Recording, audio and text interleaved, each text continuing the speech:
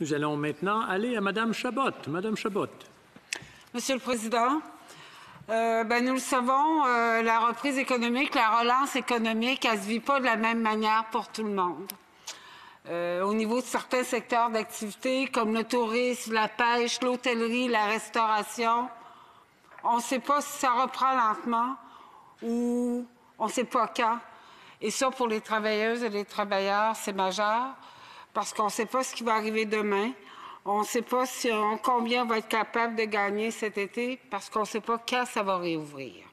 Alors, Monsieur le Président, avec les 16 semaines de la PCU, toutes ces personnes ont peur de se retrouver devant rien. Pas d'emploi, pas de revenus.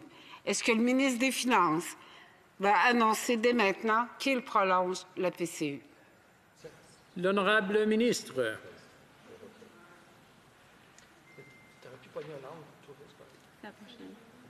L'honorable ministre. Après.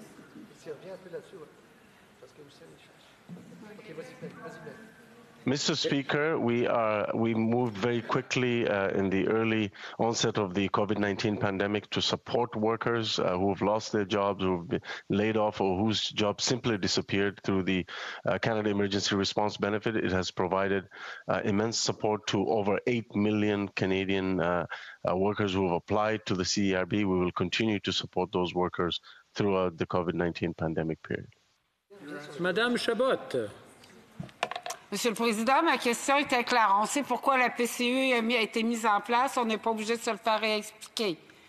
C'est qu'il y a des travailleuses et des travailleurs qui, demain matin, les prestations, la PCU va se terminer là. Il n'y aura pas de reprise dans leur secteur. Je vais vous parler du secteur des bars, par exemple, de l'entraînement sportif, nos artistes, euh, au niveau de la culture, puis ils ne savent pas quand. Fait que ma question, est-ce que vous êtes prêts à prolonger la prestation canadienne d'urgence dès maintenant?